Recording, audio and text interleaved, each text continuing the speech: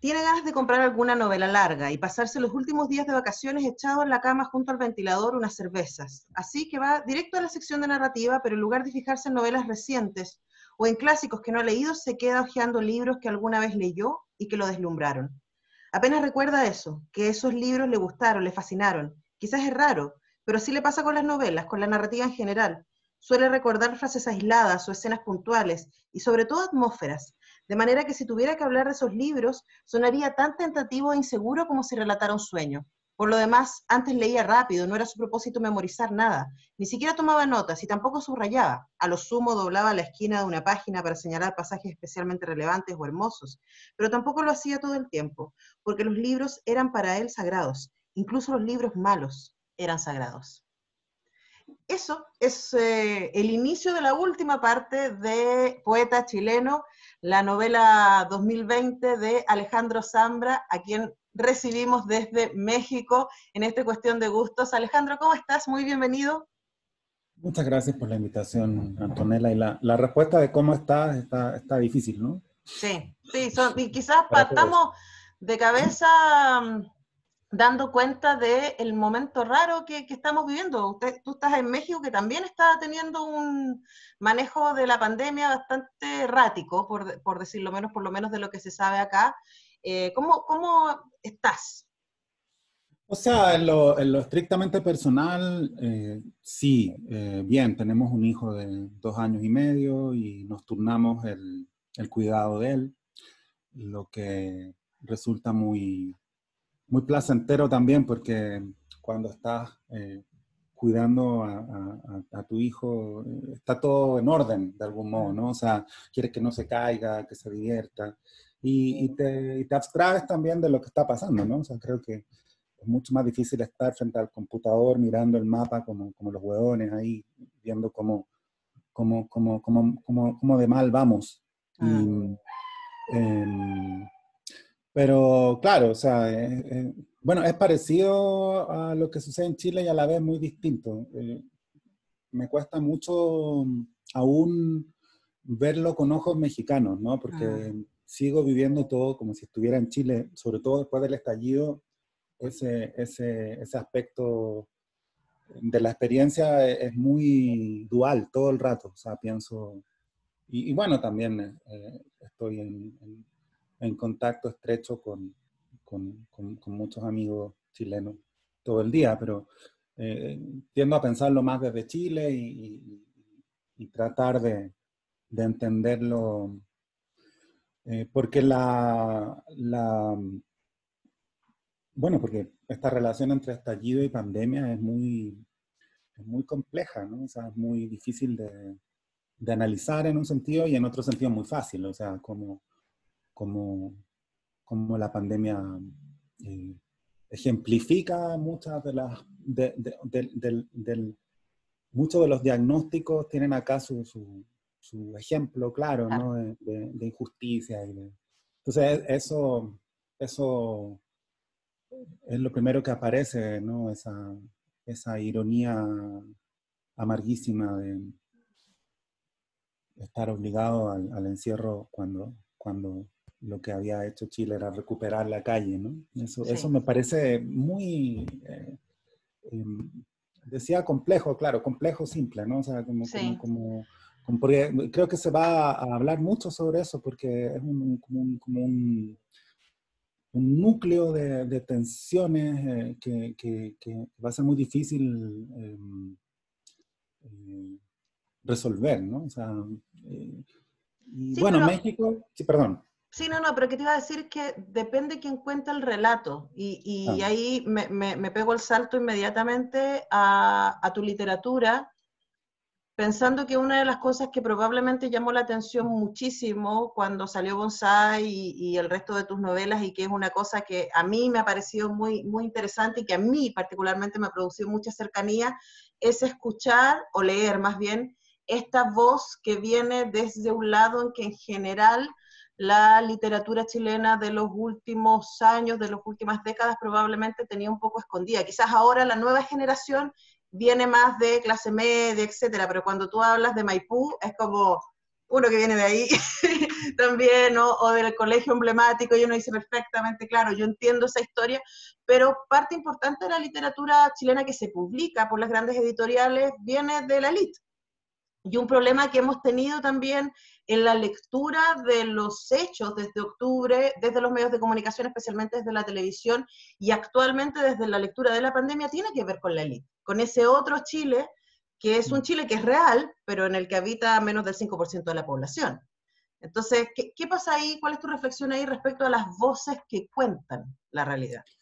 O sea, es una reflexión, de nuevo, muy simple y muy compleja, porque yo, lo, yo viviendo lejos he experimentado por primera vez eh, la dificultad de información. O sea, es muy difícil informarse sobre lo que pasa en Chile eh, por los medios, entre comillas, tradicionales, y, se transforma todo en una búsqueda de eh, voces en, las que crees, ¿no? Estoy hablando sobre todo de, de periodismo.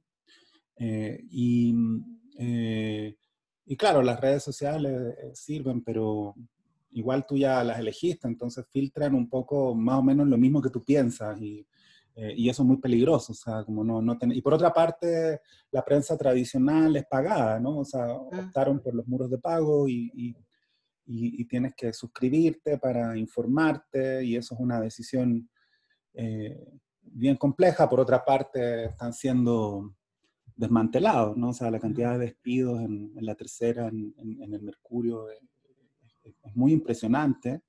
Entonces, eh, claro, si tú te quedaras con lo que, con lo que se lee en, el diario del domingo, para usar una expresión tradicional, es otro país completamente, que intenta, eh, como siempre, fue el juego mercurial que luego lo hizo la tercera, intenta tener voces disidentes que son muy valiosas y muy importantes también, pero que ocupan ahí el, lugar de, de, o sea, como la construcción de una pluralidad que, que, no es tal, ¿no? Claro, pero la hegemonía sigue siendo eso, hegemonía. No, o sea, hay, hay columnistas buenos, creo yo también, pero, pero si, el diario es realmente lo, lo, que sucede en las páginas editoriales, ¿no? O sea, Ahora, uno, esta, esta teoría que yo planteaba respecto a quienes escriben y quienes logran publicar. Eh, también me da la impresión de que tiene mucho que ver con eso y que tampoco siempre fue así. Eh, me quedé pensando mucho en,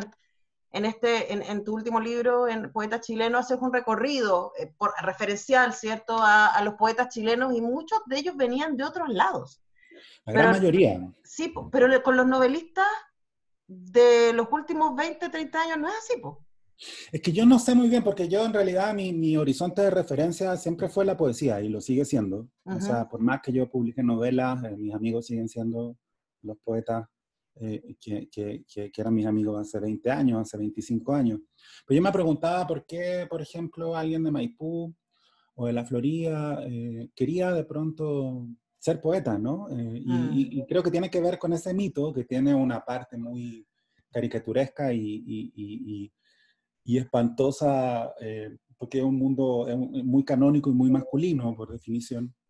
Pero también eh, es un grupo eh, de, excluyendo a Huidobro, tal vez, ¿no? Que, que, es el único aristócrata, pero también Huidobro se fue contra su clase.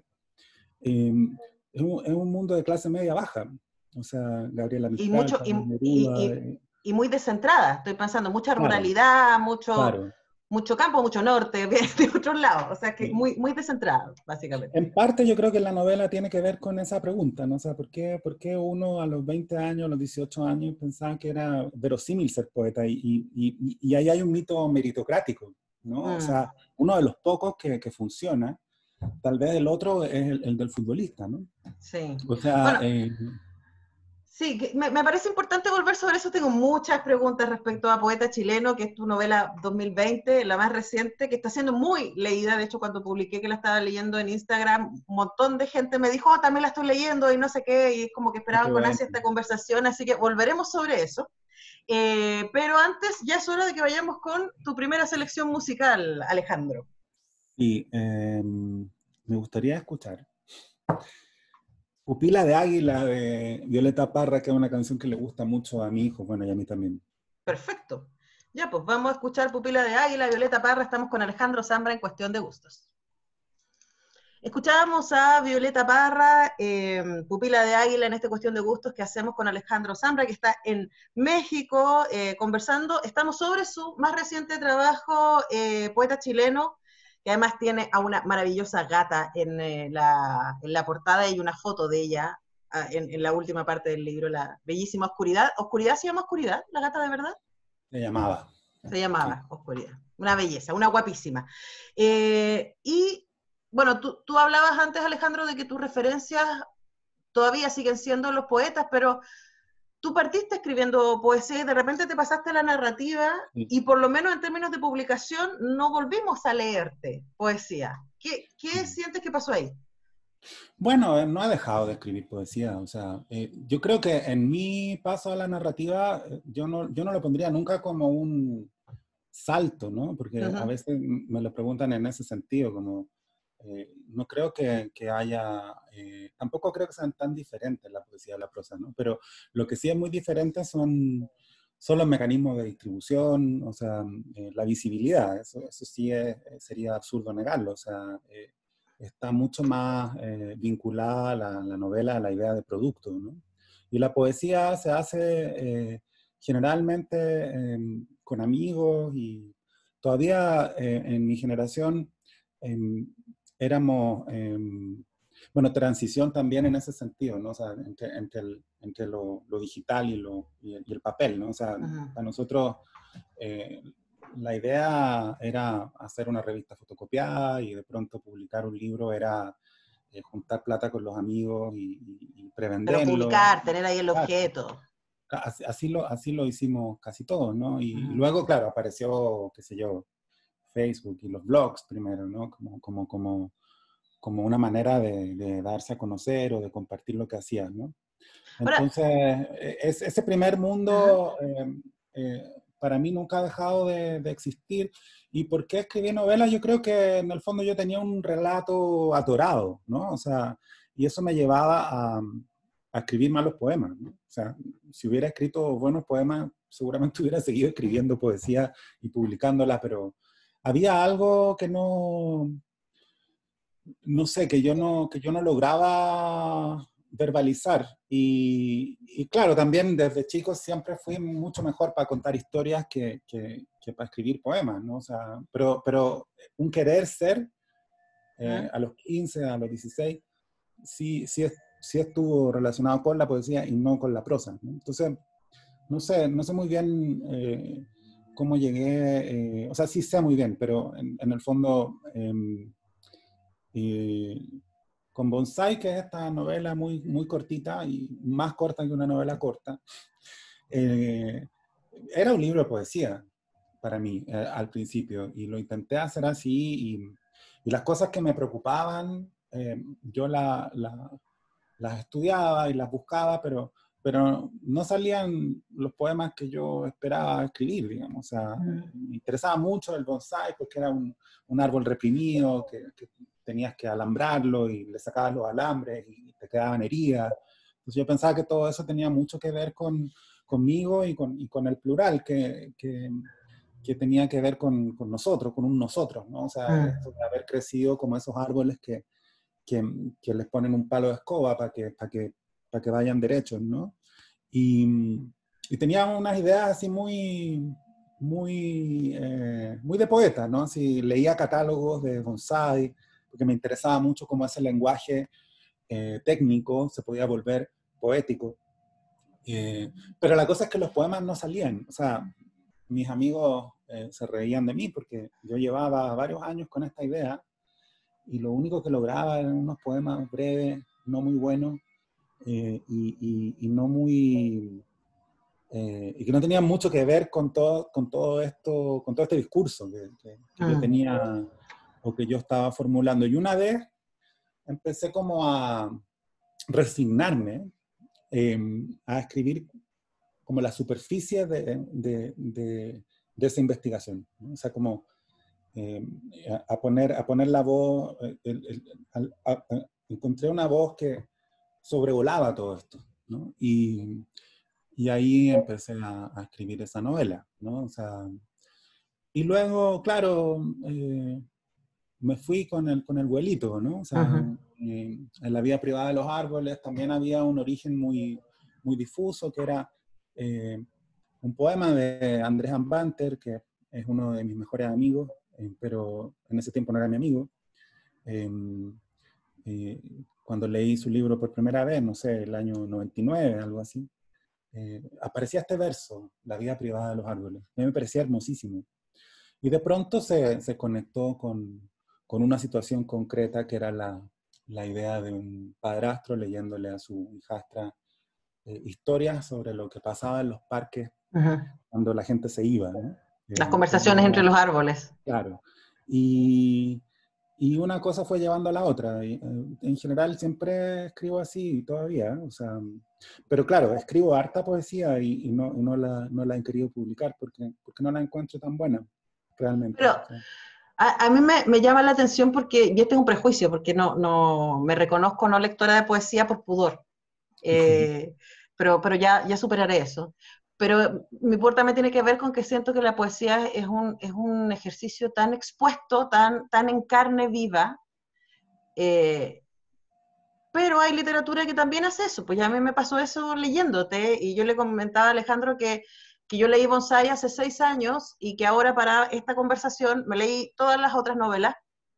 Y, y como tus personajes la mayoría del tiempo están hablando en primera persona y uno tiene la impresión de que tienen muchísimo de ti, es como si uno finalmente se acercara al autor. Eh, y que como de alguna manera conocía, además, si uno las lee consecutivamente, ordenadamente, eh, la, la vida eh, privada de los árboles y documentos y formas de volver a casa y eh, poeta chileno, uno inmediatamente se arma y entre medio facsímil uno inmediatamente se arma un recorrido y sabes que me pareció que es muy interesante también un, uno puede observar en, si uno pensara que este hombre es el mismo hombre en distintas situaciones, en distintos momentos, uno también puede ver cómo este hombre madura y, cosas que eh, en bonsai eran súper, súper importantes, después ya no lo son tantos. Y, y hay, hay otros problemas que aparecen que adquieren muchísima más relevancia, como la paternidad, por ejemplo.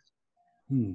Sí, igual yo, las primeras novelas son en tercera persona, esta novela también, pero eh, Formas de Volver a Casa, que es la primera novela y la primera vez que yo escribí en primera persona, a mí me apareció en primera persona por, justo por, por ese vínculo con la, con la poesía, ¿no? O sea, mm. después se habló un poco de autoficción, puros conceptos que yo entiendo y, y, me interesan en alguna medida. Me interesan los conceptos siempre que no bloqueen la conversación, ¿no? O sea, claro. Si, es una posibilidad. claro, que si parte del concepto está bien, pero si el final es el concepto, yo creo que eso hace muy mal en general la, la enseñanza de la literatura cuando un poco con, con la lógica PSU, o sea, lees el poema y solo estás buscando figuras literarias. O sea, creo que ese es un error muy, muy brutal. O sea, no importa nada saber qué es una metonimia. Mm. Eh, pero se enseña la literatura de manera tal que parece que un poema es algo donde tienes que buscar metonimia. Eh, mm. eso, eso, eso me parece, bueno, no, me preguntaste otra cosa, pero no, ni, eh, siquiera, ni siquiera es una pregunta, como que planteé una, una, propuesta de lectura, básicamente. No, yo tengo la sensación de que es que lo que pasa es que no hay nadie que encuentre mis libros más distintos entre sí que yo. Mira. Porque, porque eh, si se parecen, eh, se parece la necesidad, ¿no? la necesidad de escribirlo. O sea, no, no, no se parecen, o sea, por una parte esta idea de que uno escribe siempre el mismo libro me parece hermosa pero eh, uno cambia todo el tiempo. Exactamente, pero uno no, no, siempre es uno en todas las circunstancias, y eso es exactamente lo que me pasó.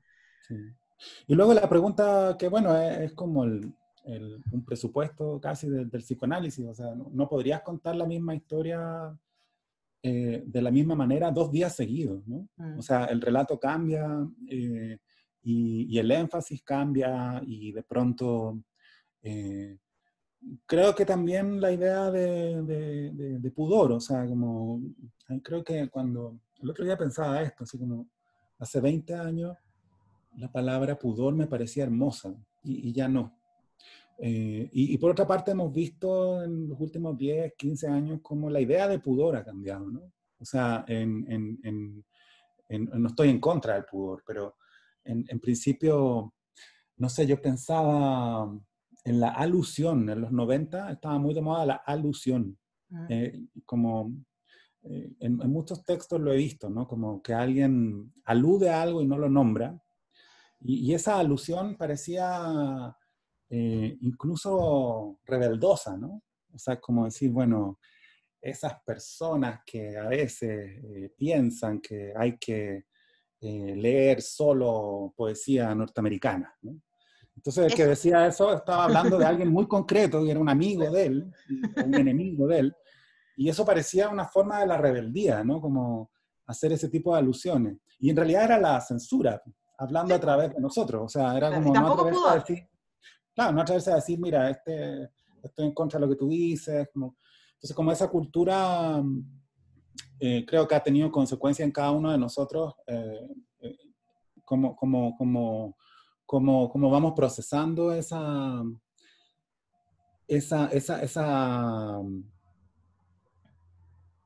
esa circulación en el mundo, porque en el fondo escribir es algo muy, muy privado siempre. ¿no? O sea, de pronto uno, uno toma la decisión de eh, hacerlo público, pero... Sí, muy apuesto, siempre. Claro. Antes de ir a lo siguiente, te propongo que vayamos al siguiente tema. ¿Qué vamos a escuchar ahora? Eh, una canción de Peggy Lee que se llama Is That All There Is? Perfecto. Estamos haciendo cuestión de gustos con Alejandro Zambra.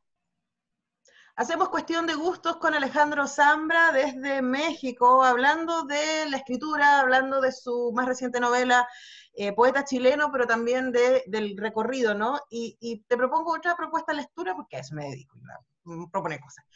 Y es que desde bonsai hasta, hasta poeta chileno, la literatura y el amor por los libros siempre aparece como un lugar de rescate, como un puente. O sea, esos personajes de bonsai que necesitaban calentarse literariamente o calentarse literalmente, ¿no? Para poder, para poder estar juntos, hasta, no sé, Vicente, a quien amo con locura, eh, el, adolescente, o niño primero protagonista y luego adolescente eh, de, de, poeta chileno, que me parece así una belleza e, ese personaje, que descubre la poesía como un, lugar de rescate casi e, en, algún momento. No lo mismo para Gonzalo, para el personaje adulto. Pero si uno va revisando, uno va revisando es como que hay esa relación con los libros como, como aire. Eh, como, como cuando las palabras te quedan cortas, buscas palabras ajenas, qué sé yo. O quizás estoy proyectando lo que a mí me pasa, ¿no?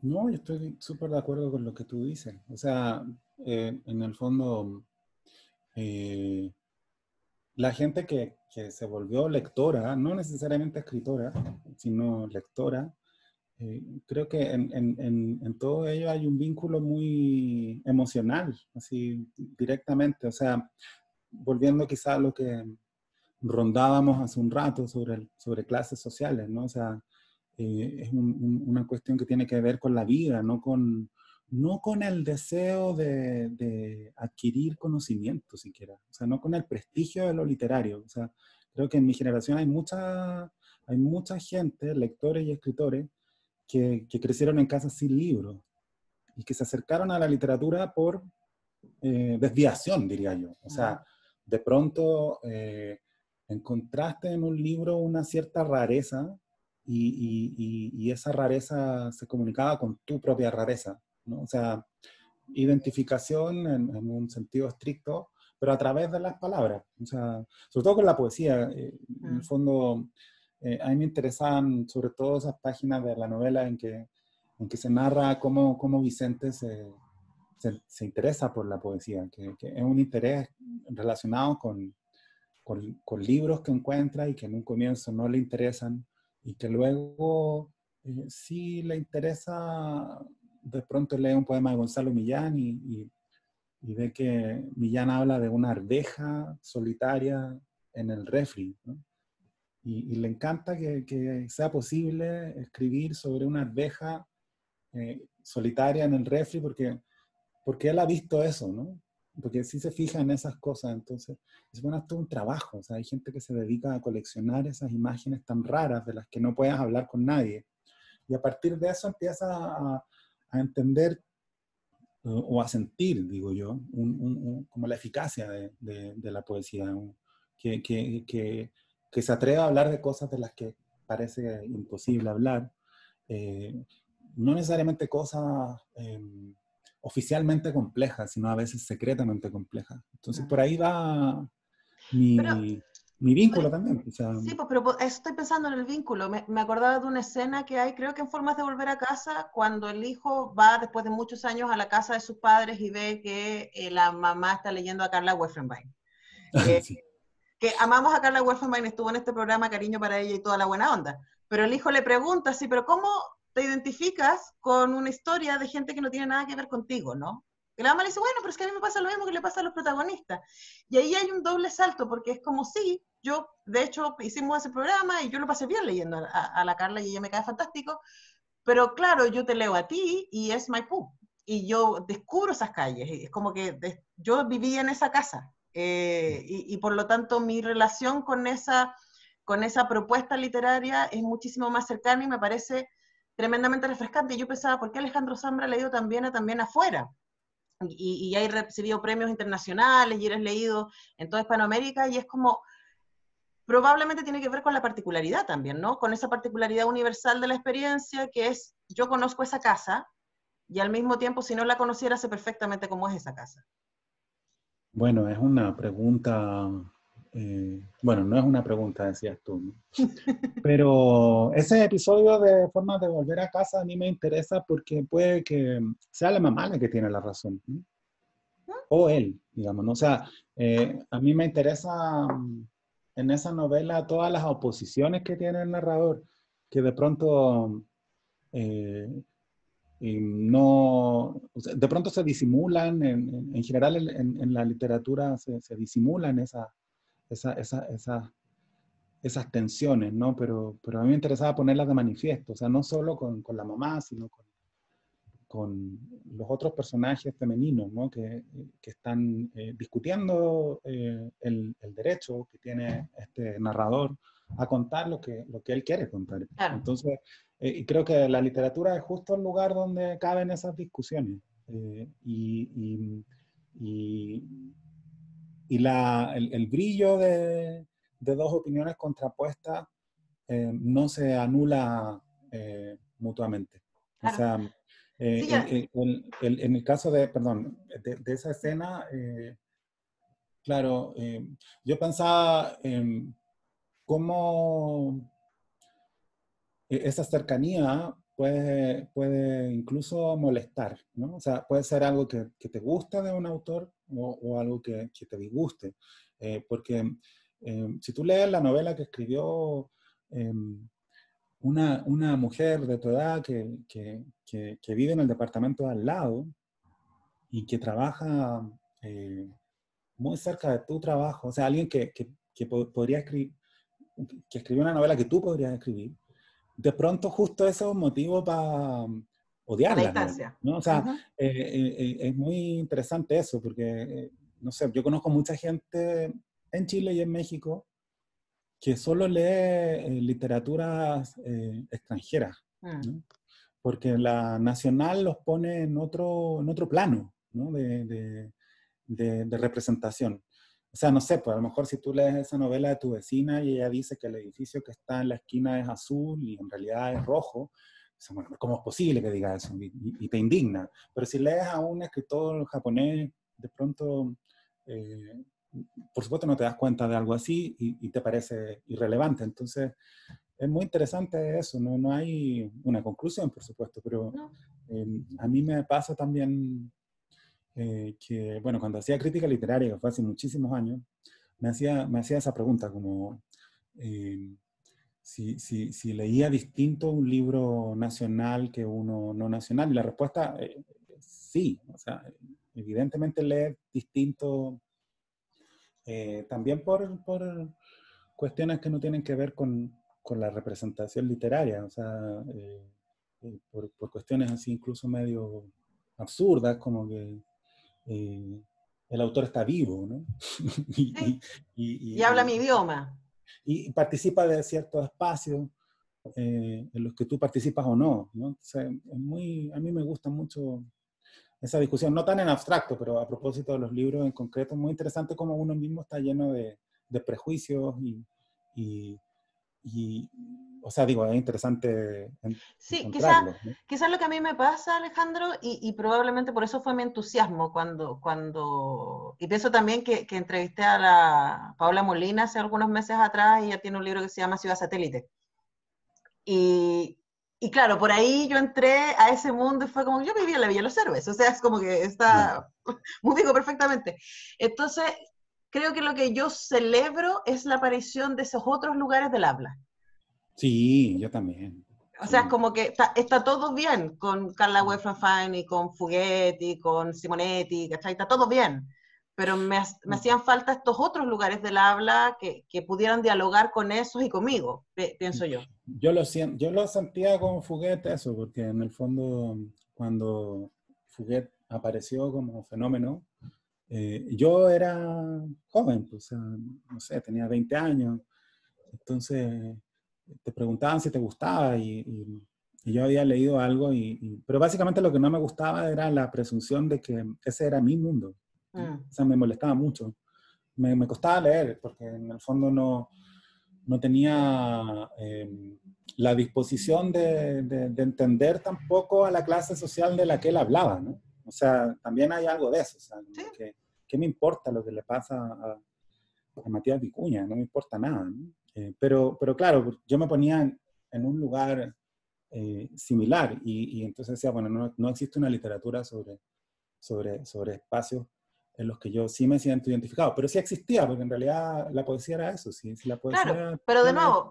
sí, pero en la narrativa chilena también, o sea, leíamos a, a Manuel Rojas, por ejemplo. Manuel Rojas... Sí, pues, pero algo, algo nos pasó. O sea, digo, ¿por qué algo pasó y vos, oh sí, hola, nos pasó, 1973, ¿no? Que, que hubo como una race de eh, las voces que no venían de la elite. Eh, para, para, publicar, porque estoy segura que hay producción. Eh, pero, pero que llegue efectivamente a las grandes editoriales como, como está empezando a suceder ahora y eso nos parece. Y la hay, y la hay, o sea, si uno revisa la hay, pero lo que pasa es que, claro, también eran, eran mayoría exiliados también, ¿no? O sea, pero si uno se vinculaba con la narrativa chilena, yo en realidad no es que la anduviera buscando, o sea, yo leía poesía y, leía toda la poesía que pasara por mis manos y me interesaba lo que estaba escribiendo mi compañero de banco, tanto como me interesaba Eliot, pero eh, con narrativa era más a la segura.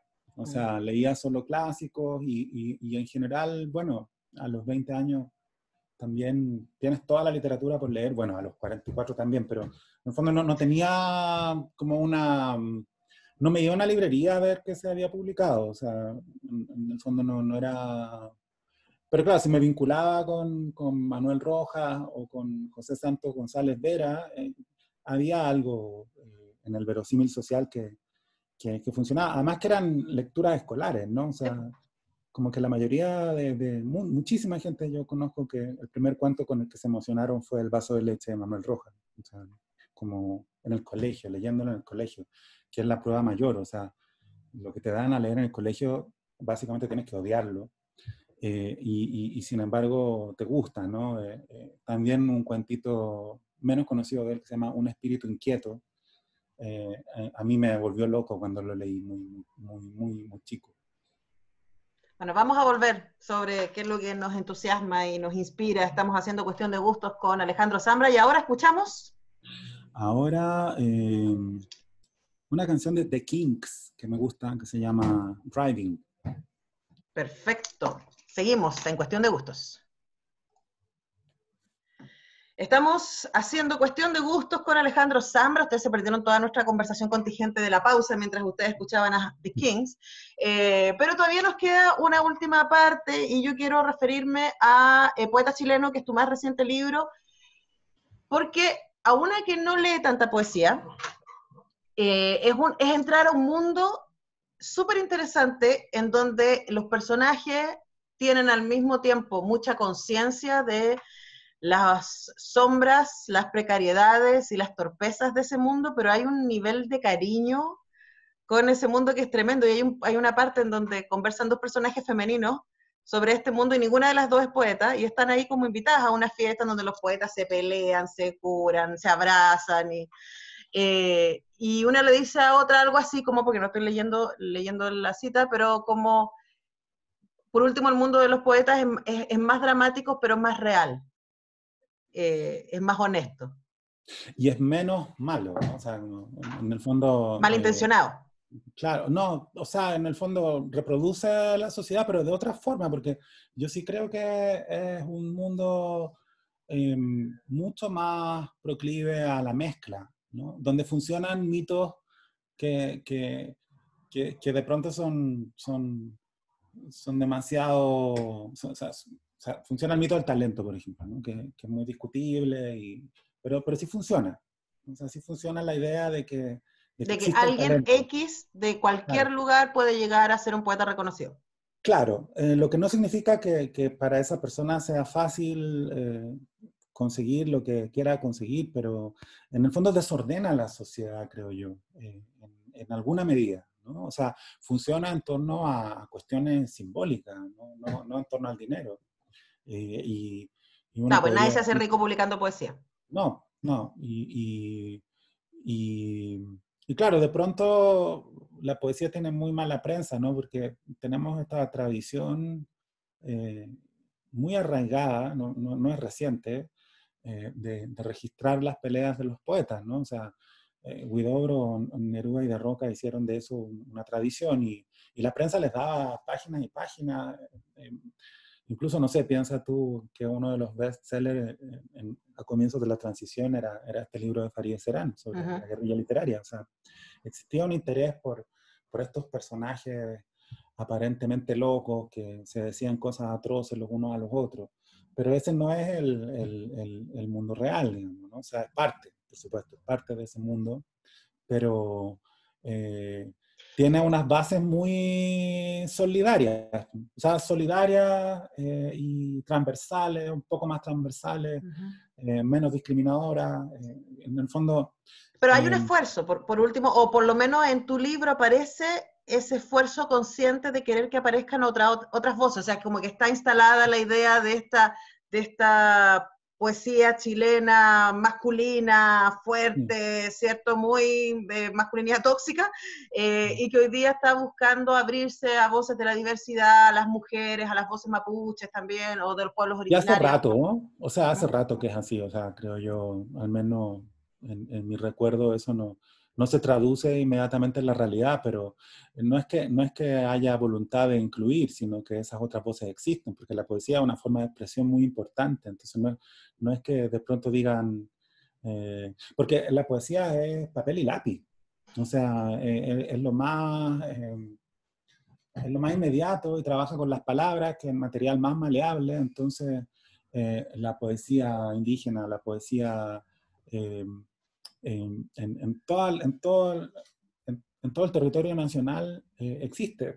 O sea, no, es que no exista, no es que haya que buscarla, existe naturalmente, eh, porque, porque defiende visiones porque defiende territorios, y, y, creo que hay muchos críticos que, que, hace décadas empezaron eh, a, a, remover el canon. Lo que pasa es que es una tradición eh, eh, de la pelea, ¿no? Un club de la pelea. Entonces, eh, lo que tiene más publicidad en general tiene que ver con, con, esas peleas. O sea, yo pienso hoy día, por ejemplo, en, en, cuarentena, en la tercera han entrevistado poetas, pero la tercera no tiene una sección de crítica ya, ah. de libros, y, y, mucho menos reseñan libros de poetas, ¿no? Pero un poeta hablando parece ser alguien verosímil como entrevistado, ¿no? Quizá porque en Chile, mm, aunque la gente no lea mucha poesía, eh, existe la idea de que el poeta eh, em, em, hace algo valioso, ¿no? bueno, en alguno de tus personajes dice que lo único que Chile ha ganado mundial dos veces es en el Mundial de Poesía. Y no sé si eso es cierto, porque parece que tenemos muy, muy buenos veleristas, ¿no? Ah, puede ser, pero sí, pero sí es cierto que hay, que hay como una conciencia de que Chile, país de poetas y eso, pero a mí lo que me pareció fascinante sin conocer ese mundo es entrar a ese mundo por, por los ojos de una extranjera, eh, en este caso, ¿cierto? En el personaje de tu libro, que es una gringa que, que se pilla eh, muy eh, tropezadamente llegando a Santiago y teniendo que escribir este reportaje como para darle algún sentido a su viaje y a su descorazonamiento y se encuentra con este personaje que yo ya les dije que me, encantaba, que es Vicente, que este adolescente, pero me encantaba ya de niño, Vicente es una, es una belleza. Y, quizás quisiera ir cerrando con esa idea, con cuando hablaba yo antes de que uno podía seguir toda tu, producción eh, en narrativa, como este personaje masculino al que le van pasando cosas y que va pensando y que va reflexionando, probablemente, claro, eh, la vida privada de los árboles y poeta chileno tienen en común esta relación con la paternidad desde ser el padrastro, pero que es muy real en términos de cariño y de cuidado y que es exactamente ese, ese ruido de no ser el padre y por lo tanto cuáles son los derechos y las distancias y esas cosas que aparece ahí, pero pero que levanta eh, un cariño que es tan profundo y es tan lindo lo que pasa entre estos varones especialmente hacia el final del libro que no le estoy contando el final.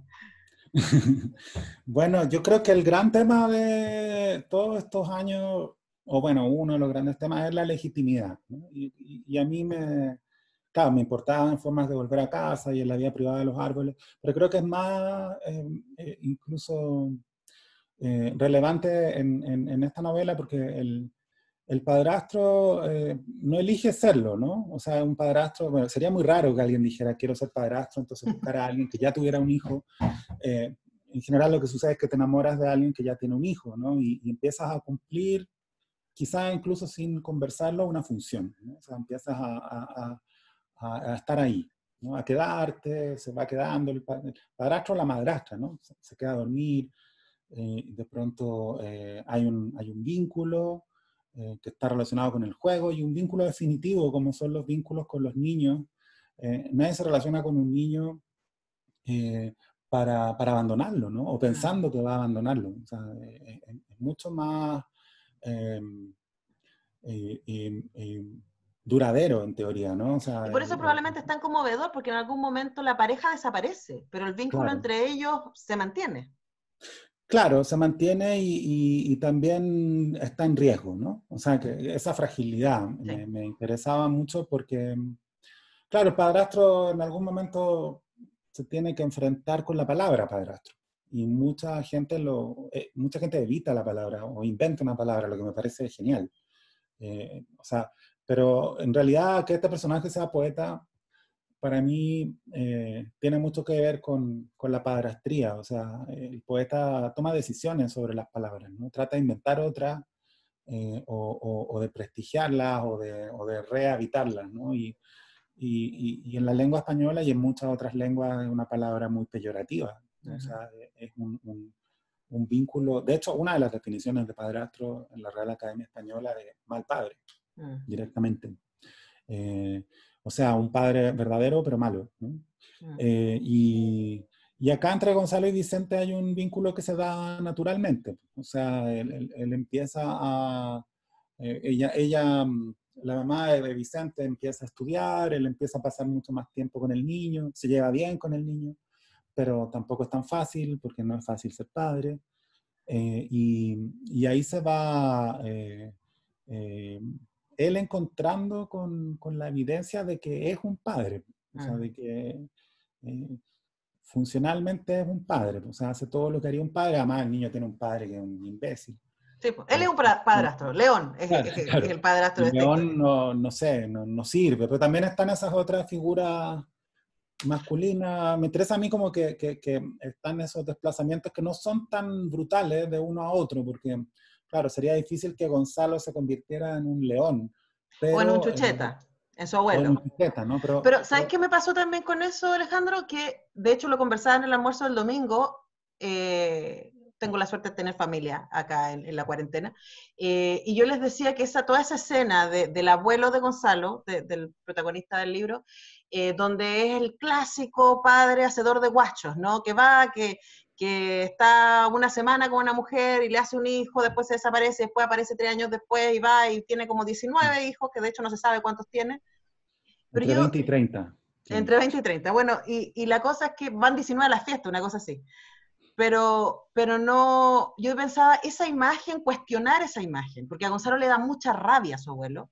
Eh, antes estaba normalizada y me pareció súper refrescante que sea desde una masculinidad que se cuestione esta otra masculinidad que ha sido tan tradicional en, la historia chilena. Sobre la definición de la masculina actual recae eso, no hay que ir muy lejos ni, ni, en el tiempo ni en el espacio, o sea, como son los abuelos de, de la generación de mis abuelos, ¿no? O sea, digo, el tiempo, por supuesto, existe en eso todavía, pero la generación en que estaba completamente normalizado era la, de mis abuelos. Mi abuelo materno, de hecho, era ah. exactamente como ese chucheta. O sea, tenía entre 20 y 30 hijos. Mm. Eh, todo el mundo como que le perdonaba, eh, hablaban mal de él, pero, pero ni tanto. Eh, en el fondo existía, claro, un mundo que, propiciaba su existencia, mm. pero también había una mirada eh, muy inocente respecto de lo que eso significaba. ¿no? El, estaba, estoy hablando del embarazador compulsivo, de,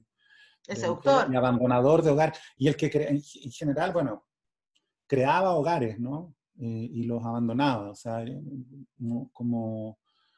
Y luego digo, digo, digo que eh, están esas figuras, es muy difícil la reflexión entre hombres, porque no hay un equivalente tan claro de la sororidad, porque en el fondo, como no estuvimos nunca eh, obligados a pensar, eh, a pensarnos como género, a pensar en la masculinidad, eh, no hay, no existen esas vías de comunicación en, en, abstracto entre hombres. Por supuesto, las hay y uno las va construyendo, pero también fracasan esos vínculos. O sea, cuando tienes conversaciones muy íntimas con otro hombre, también es probable que te rechacen.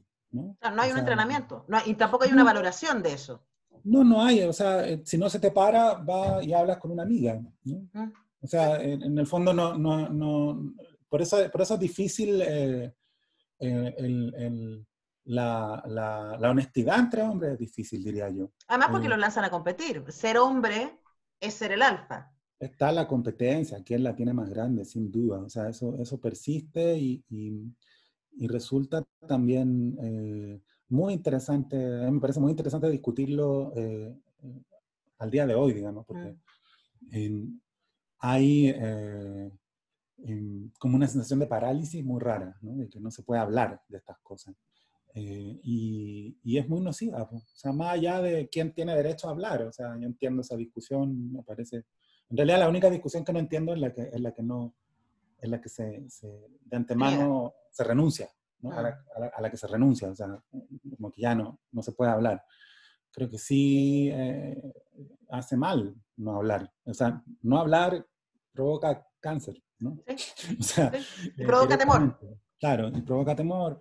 Entonces, sí, em, eh, y claro, también nos cuesta porque, no sé, si yo pienso yo así como sujeto, eh, ¿a quién odio?